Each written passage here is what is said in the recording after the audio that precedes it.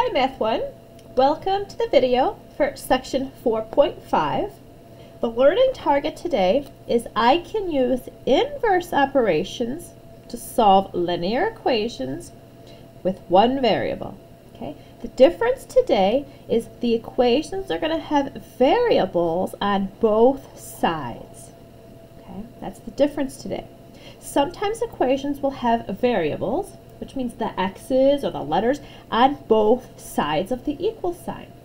Okay, for example, maybe we have 2x plus 7 equals 3x minus 4. So I notice in this equation that the variables are on both the left side and the right side. Okay, in this case, we need to rearrange the equation we're going to move all the variables to one side.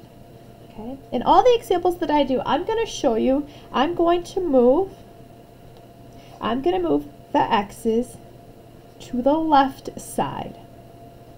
Okay, so this is a technique that some people use. They always put all the x's on the left. That's how they're used to seeing it. That would be a, a good technique. Okay, let's take a look at example number one here. 3x minus 10 is equal to 5x plus 4.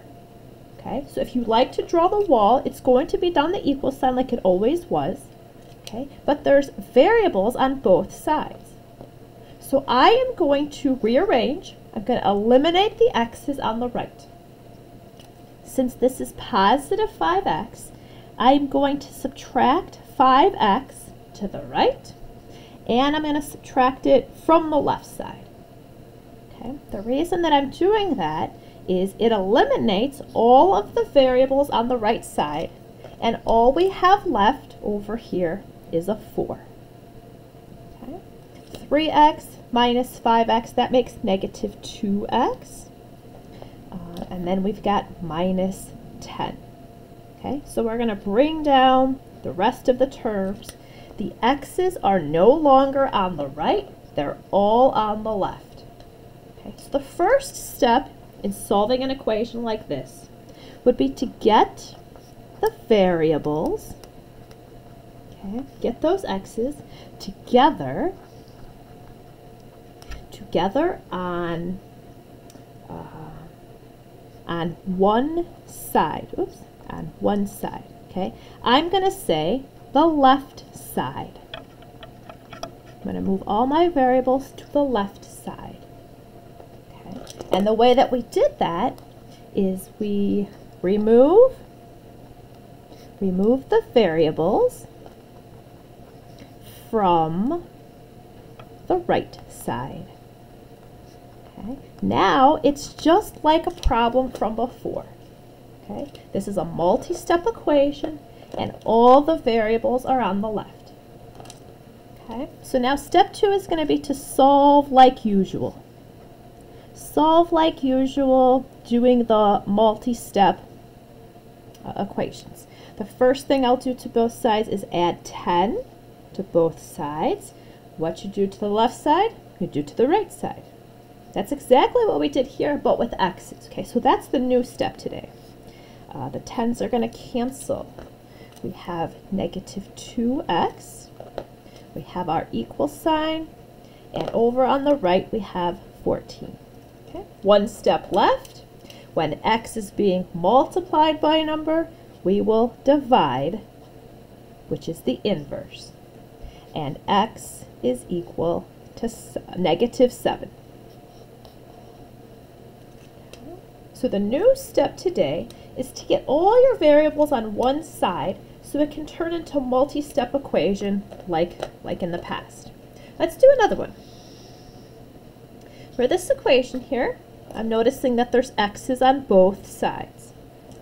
Okay. First thing I'll do is build my wall so I can clearly see the left side and the right side. Okay. Remember, what you do to the left side, you must do to the right side. Okay. So the first thing I'm going to do is get the x's, which are the variables, okay, on the left side. Get the variables on the left side. So these x's that are on the right, I need to eliminate them. I need to subtract two x's from the right. Okay, that makes them cancel out. But what I do to the right, I must also do to the left. 4x minus 2x, those are like terms. That makes 2x. I need to write down the rest of the terms. We still have minus 9 on the left, we still have positive 11 on the right. Now we just have a multi-step equation. All the variables are on the left, okay? So now step two is just going to be to solve. Solve using your many steps. The first thing to do would be to add 9 to both sides.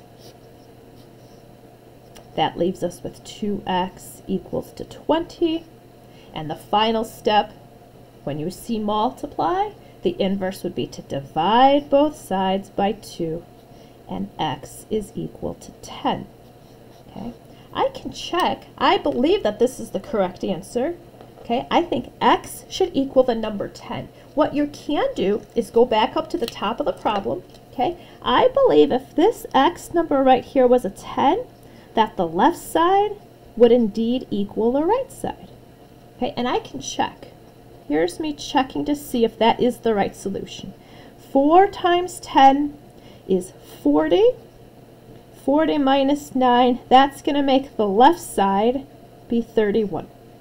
Okay, does that indeed equal the right side? Let's see, 2 times 10 is 20. 20 plus 11, yes, look at that. It makes 31 on the left and equal to 31 on the right. 10 is indeed the correct solution. Okay, um, here's another one. We've got a, a couple different techniques here. When we see parentheses, okay, that means multiply. So we've got one additional step here. Okay, so the first thing I'm going to do is distribute. I'm going to distribute distribute that 4 into the parentheses. And the reason I do that, uh, to remove, to remove, okay, the parentheses. If I distribute, I, I will no longer have parentheses, and I'll have 4x minus 6 times 4 is 24. Now this equation looks just like the ones on the other page. Okay, I notice that there's variables on both sides. Okay, we have to eliminate that. We have to eliminate, eliminate the variables, okay, the x's uh, on the right. Eliminate those variables. How am I going to eliminate an 8x? I will subtract 8x. That is indeed the right side. If I subtract 8 x's from the right, I need to subtract 8 x's from the left. Notice where I'm writing these? I'm putting x's under x's. On this left-hand side, it makes sense to line up the like terms. x's go with x's, so that would be the, the right place, the proper place to put the x terms. Okay. Now, what do we have after we do that? We still have an equal sign, but the 8x's are gone. And all we have left is a 16 on the right side. Over here, 4 minus 8, be careful, negative 4x, and we still have minus 24. Okay. Now, I've eliminated the variable on the right. I only have x's on the left. Okay, so the third step would be to solve. We're going to have to do multi-steps here. Okay. It seems like the last step they did was subtract 24. I need to undo that. The inverse of subtract is to add 24 to both sides. That eliminates the number on the right. Now the left side only has x's and the right side only has numbers. This is going to be a 40. Okay. I could tell that we're getting smaller, so the solving is working. We're getting very close to solving for x. If I divide both sides by negative 4, okay, negative 4 cancels with negative 4, and x is equal to negative 10. Okay. Remember, you can check this. If if you plug negative 10 in for the x, the answer on the left side should equal the answer on the right side. Okay, and you can do that with your calculator. If I take uh, 4 times negative 10 minus 6 with parentheses, that makes the left side negative 64. Now on the right side, what if I do 8 times negative 10 plus 16? Oh, the right side also equals negative 64. Okay, and the two sides are equal. This answer checks. Okay, we got one more. Okay, when you see parentheses like this, the first step would be to distribute. I am going to distribute the 3 to remove the parentheses. I'm going to distribute the 3 just to make several terms. That makes 3x plus 6 equals 9x plus 12. Now I have many terms. Okay, it's getting more simple. Now I notice that there's variables on both sides.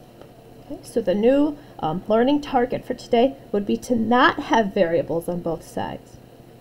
Okay, let's eliminate, let's eliminate the 9x from the right side. Okay, how do you eliminate a 9x? We subtract 9x. Okay, that is clearly on the right-hand side. What you do to the right side, you have to do to the left side. Where do I write 9x? Oh, I'm going to put it here under the other x's. The like terms should get written by each other. Okay. What you do to the right side, you do to the left side. That cancels the x's. That eliminates the x's from the right. All we have left is a number. That's exactly how it should look. 3x minus 9x is negative 6x. We still have that plus 6. Okay, so it eliminates from the right side, and they all get combined to the left side. Now the next step would be to kind of do that with the numbers. Okay, now we're going to solve like usual. We're going to subtract 6 from the left and from the right. Okay, do you see how the numbers get eliminated from the left? Now it seems like all my numbers are on the right. Okay, if your equation is getting smaller and smaller, it's working. The last step, okay, the inverse of multiply would be to divide by negative 6. Okay, negatives cancel, 6's cancel.